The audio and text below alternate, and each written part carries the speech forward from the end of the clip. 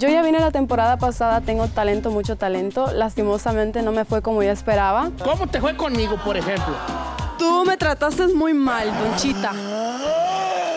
Donchita. Pues sí, eso pareces, mira, con tu camisa. Es cierto. ¡Fuera! ¡Fuera! Tampoco Me sacó el oso, no de una mala forma, me llevó del brazo. Fue muy caballeroso. ¿Qué te dijo yo a Fabela? No, pues como nada, él siempre como una dulzura calladito. Yo pensé que Pepe Garza iba a estar más estricto, pero fue Ana Bárbara la que estuvo un poco dura. Ella fue la malvada del cuento esa vez. Vamos a, vamos a recordar lo que le dijo Ana Bárbara la vez pasada. ¡Corren el tape! A ver. Entonces estás bien bonita. si no la haces de cantante, la haces de, de modelo. Ok. Quiero que quede claro aquí, Carolina, que la que te dijo que la cantada no es lo tuyo es Ana Bárbara. Sí. No yo.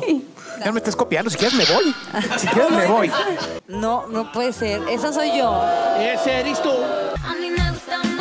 Decidí volver para demostrarle a Ana Bárbara que no solo soy una cara bonita ni que solo sirvo para modelos, sino que también sé cantar. Convences a mi corazón que te ame por completo. Conquistas cada parte de mi mente y de mi cuerpo. ¡Fuera! Tú haces que mi vida más sentido. Haces que a estar ¡Fuera! Tú eres como el agua clara que llueve del cielo.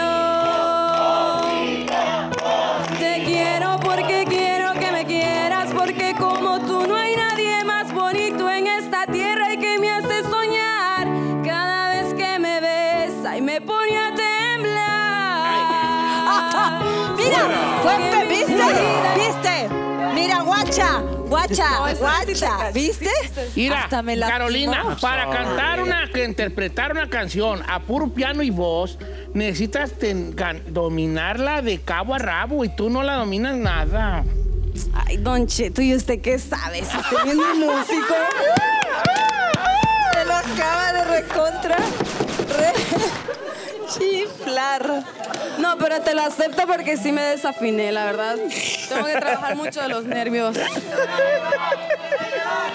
Mira, mira. Ay, no.